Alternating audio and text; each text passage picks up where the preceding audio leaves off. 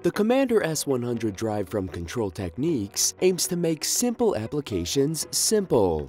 Regardless of what you're using the Commander S100 for, it provides key features that give you reliable control in a multitude of environments. This video takes a quick look at some of the applications this drive is used for. If you're using the Commander S100 for fan, pump, and compressor applications, you can benefit from its improved energy efficiency during periods of low demand, as well as its PID functionality that allows for dependable advanced control without the need of an external controller.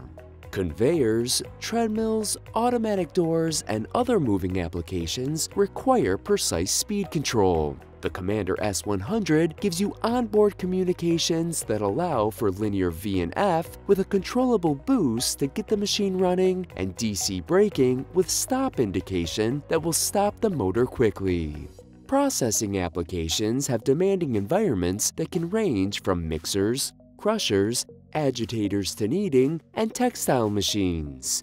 The Commander S100 has a stability optimizer for improved motor control, resistance compensation for torque performance, and it has a built-in EMC filter that reduces electromagnetic interference and gives you precise control for what you need.